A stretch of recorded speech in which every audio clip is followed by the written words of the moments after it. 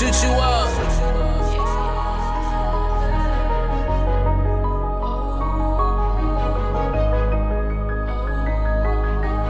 Tweezy just straight out another man.